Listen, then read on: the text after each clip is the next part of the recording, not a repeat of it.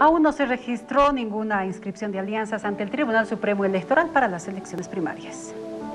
Llegó el último día para que se inscriban las alianzas ante el Tribunal Supremo Electoral. Durante la mañana de este martes no ha habido ningún movimiento en el cuarto poder del Estado. Y es que, sobre todo en la oposición, no descartan acercamientos finales. El fin de semana se lograron dos bloques de oposición, Carlos Mesa con Solvo y los demócratas con Unidad Nacional. Pero entre ambos aún esperan la posibilidad de concretar un frente amplio. El discurso del día hay todas las eh, posibilidades, estamos actuando eh, responsablemente. La decisión que hemos asumido es construir un bloque opositor y después nos pongamos de acuerdo con el binomio que represente a la alianza. O sea, estamos yendo por el camino correcto.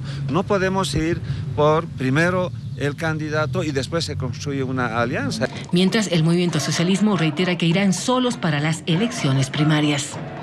El MAS eh, determinó hace muchísimo tiempo que va a presentarse con toda su estructura desde el punto de vista formal solo, pero acompañado obviamente con lo que son las organizaciones sociales, que son los que o son las organizaciones que generan este proceso.